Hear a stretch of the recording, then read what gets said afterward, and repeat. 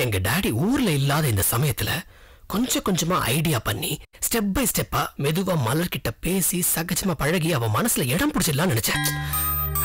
But முடியல. இங்க வேற மாதிரில நிர்வாகம் நடந்துட்டு இருக்கு கௌதம் சார் எம்டி போஸ்டுக்கு புதுசு. ஏதோ வேகத்துல அப்படிலாம் பண்ணிட்டாரு. அதுக்காக எல்லாத்திலும் தனிச்சையா செயல்படுறதா? தெரியலன்னா உன்ன மாதிரி விஷயம் தெரிஞ்சவங்க கிட்ட கேட்டு தெரிஞ்சுக்கணும் கொடிமுல்லை இன்று மாலை ஆறு முப்பது மணிக்கு